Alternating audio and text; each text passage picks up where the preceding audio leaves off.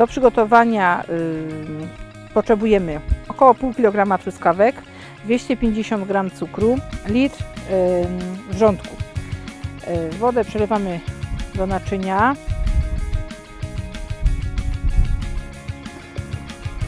Dodajemy cukier. Łączymy.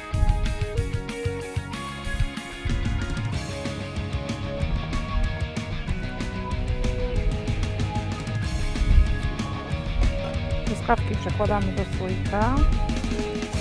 Truskawek nie powinno być więcej niż połowa słoiku, żeby syrop można było przechowywać na zimę. Truskawki zalewamy syropem.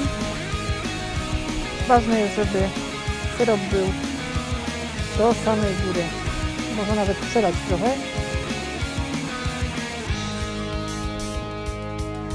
Zakręcamy i odwracamy do góry dnem, najlepiej do drugiego dnia i potem przenosimy do spiżarni już odwrócenia, to odwrócone tradycyjnie. Można przechowywać przez zimę.